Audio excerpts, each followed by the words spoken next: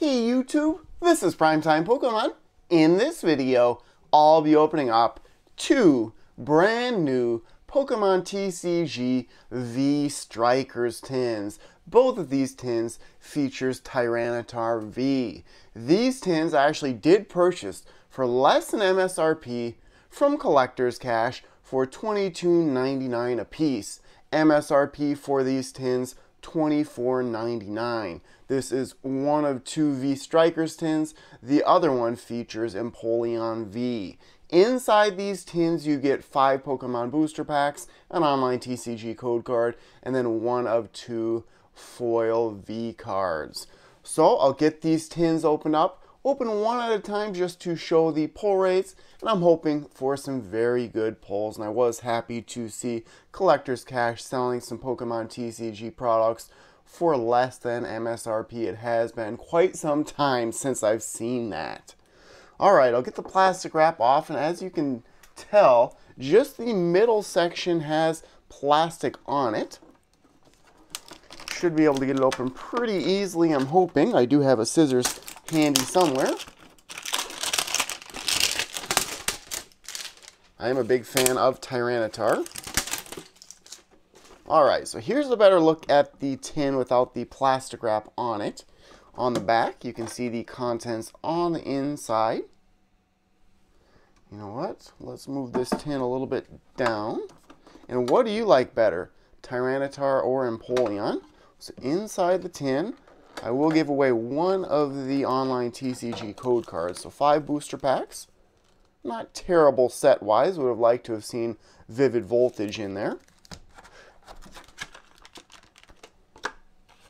And then the online TCG code card and Tyranitar V Black Star promo. So there we have it. All right. Here's a better look at the Tyranitar V. It is a Black Star promo SWSH 109 would be the card number. It is a single strike attacker. Pretty cool looking card. The online TCG code card. This should unlock the Black Star promo for the online game. And then the four booster packs. The newest set at the time in Battle Styles. Darkness Ablaze, Sword and Shield base set, and Celestial Storm. Of course, Chilling Reign, the newest set out right now. I'll open up these packs, oldest to newest, hoping for five packs to get one white cleared code card, preferably something better than a rare holo in that pack. Celestial Storm, the oldest set of the four different sets. Rayquaza GX in the expansion, very good.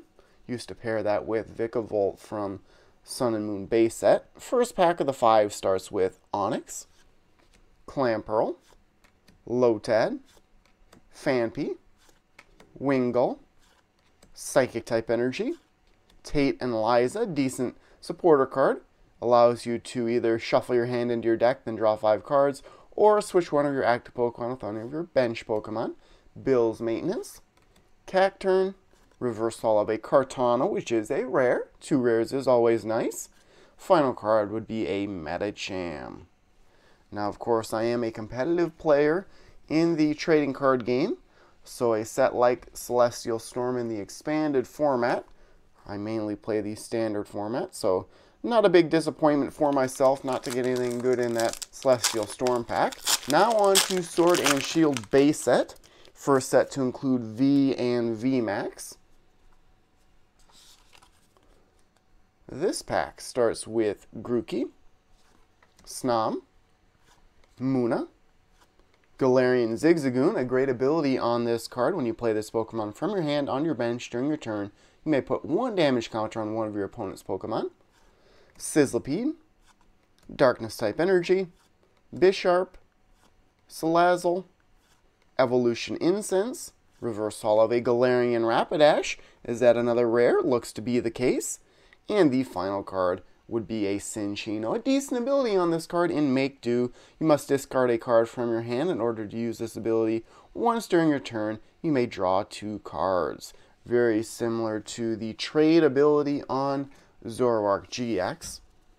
Use Zoroark lots of times in my decks. Here's a very good set, Darkness Ablaze. Still on the hunt to pull Charizard VMAX out. Carla, my wife, has actually pulled one in a previous live stream. Speaking of live streams, I do have an upcoming break for a Chilling Reign booster box, $12 per spot to enter via PayPal. Ryan Majeske at MSN.com to enter into that. You'll find more information in the description of this video as well as in the live chat. Diglett starts the one and only Darkness Ablaze pack. Tauros, Pansage, Wishiwashi, Rookidee, Metal type energy, Heat Fire energy, a very good fire type special energy, Ursaring, Old PC, Reverse Holo of a Deino, just a common, final card would be a Houndoom V. So there is the one white colored code card from the tin that I was hoping for in a Houndoom V. Saw a little bit of fire on the card, hoping it was the Charizard VMAX, but not bad right there. Set that one aside. Of course, I'll summarize all my good pulls at the end of the opening. Now on to Battle Styles. Battle Styles a little bit easier to come by. You can still find the Elite Trainer boxes for sale at MSRP online most places. The alternate arts would be the chase cards in the set. Tyranitar, in particular, a beautiful looking card. Shinx starts this one. First of two. Gligar, Spoink, Bronzor, Tepig, Grass type Energy, Rapid Strike style Mustard. This, as well as the single strike style mustard, very good. Cheryl, Heatmor, Reverse Holo of a Pachirisu, just a common. Rare here would be a Mimikyu V, and this would be a V full art. So that would be a dab and elbow cough in the live chat there as a collector. Love the full art cards of V Pokemon. So an excellent pull right there. A beautiful looking card, pink and purple in the background, really makes Mimikyu stand out. So an, a very good 10 so far. Still one more to go, and still one more pack to open in tin number one. And I do have the Empoleon V Strikers tins to open up as well. Have not seen those tins in retail stores anywhere. I believe they actually were released on the official release date for Chilling Reign. Let's see what happens in the final pack. Timburr starts it. Tepig. Glameow. Silicobra. Frillish. Water type energy. Heatmor. Single strike Scroll of Scorn. You can attach this to single strike Pokemon and use its attack. Bisharp. Reverse a Bellsprout, just a common and then Vivillon would be the rare. Certainly hoping for similar pulls in tin number two. Just to summarize quickly from tin number one, pulled out two rare reverse holos, a Pokemon V, and then a V full art. Alright, so let's get to tin number two of Tyranitar V V Strikers again. I purchased this from Collector's Cache for $22.99. Now, Collector's Cache does have a Pokecourse uh, out there on buying and selling Pokemon cards. You can find an affiliate link for that program in the description of this video. It does help support the channel if you purchase that program. Of course, lots of other ways to support the channel. If you're interested, the easiest way would be to subscribe and leave a like on the video. Alright, so I'll just quickly get to the five booster packs here. Of course, leave the Tyranitar in there for my thumbnail. Alright, set that down. I'm assuming the five same packs, and this one looks to be the... Ooh, does not look to be the case. Cosmic Eclipse, which I would much rather open than Celestial Storm, Sword and Shield base set, Darkness Ablaze, and then Battle Styles. And Good thing I looked at the camera. There we go. There would be the five booster packs, Cosmic Eclipse, Sword and Shield base set, Darkness Ablaze, and Battle Styles. So actually I'm a huge fan of that set. I'll actually save it until the end. Then start with the Sword and Shield base set. Snorlax VMAX on the cover artwork design of the pack. Would love to pull that as a rainbow rare. I've had some luck with Sword and Shield base set pulling some VMAX rainbow rares out. First pack in Tin 2 starts with Rhyhorn, Sobble, clueless looking Sobble, Grookey, Wooloo, Stonjourner, Water type energy, Pokemon Catcher, Bisharp, Salazzle, Reverse Holo after this. Sizzlipede would be a Bellator, and I must have did the card trick incorrectly. I'm flustering myself here. Did I get a rare or was this an air pack? It might have been an air pack. Nope. Stonjourner was the rare. I just did the card trick incorrectly there. Stonjourner would be the rare. And that happens. I fold under pressure sometimes. Not much pressure, just making a video by myself down here. We'll move on to Darkness Ablaze again. Still hoping for that Charizard VMAX. A card that I pulled lots of times from this set would be Butterfree VMAX. That's always a terrible sign. You open up the pack, even Carla knows what that indicates. That's why I do like sets like Shining Fates and Vivid Voltage, where you can get something better than a rare reverse Holo in that reverse Holo slot.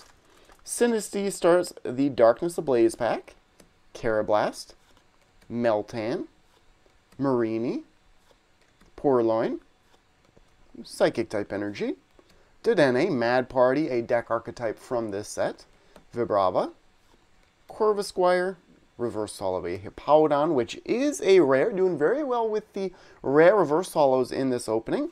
And then Thievul would be the final card. Of course, Thievul is in Shining Fates as a shiny Pokemon. I've opened up so many Shining Fates packs, and they are easier to come by a little bit now. I've only pulled two Charizard VMAXs from thousands of Shining Fates booster packs. Try my best not to look at the code card. Again, hoping for an alternate art, but a white cleared code card from one of the five packs is the goal. Mankey starts this one.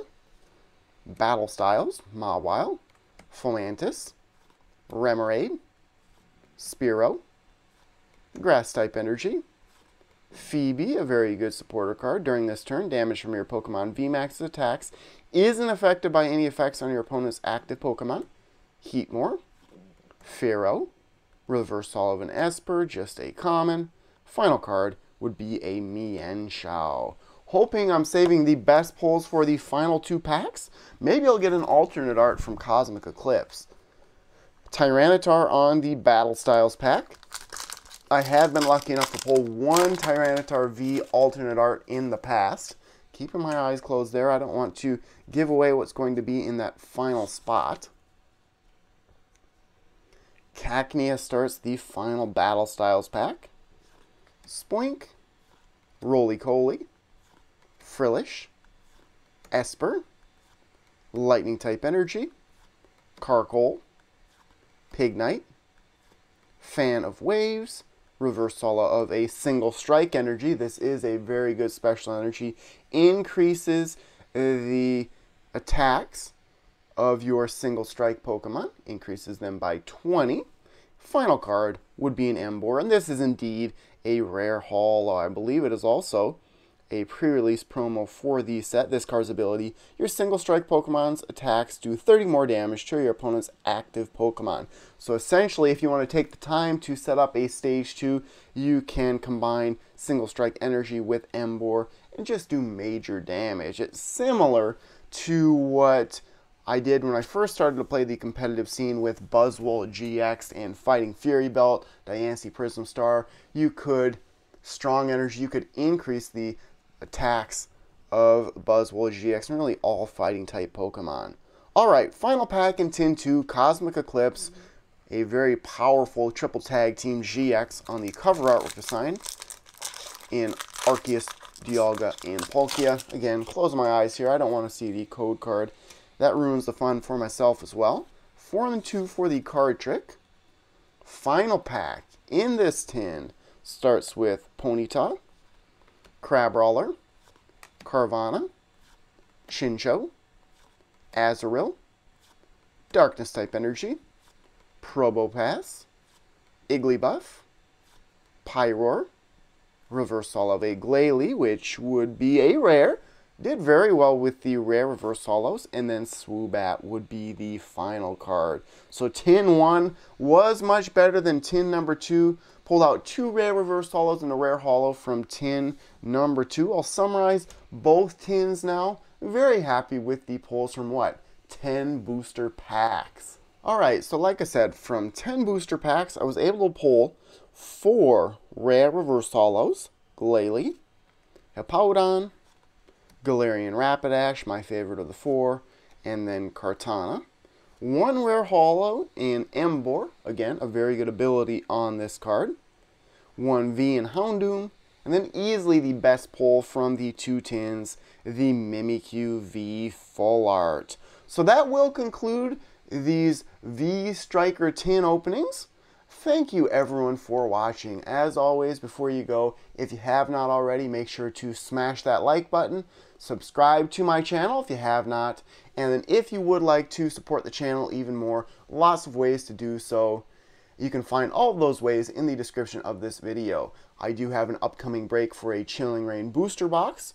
You can find that information in the live chat and in the description of this video. You can become a patron of mine on Patreon. You can always donate via the live chat, via the super chat and super stickers.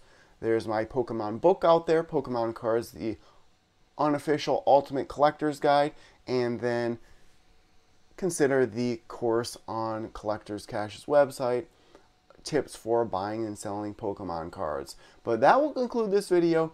Thank you everyone for watching, and stay tuned for more videos. Thank you.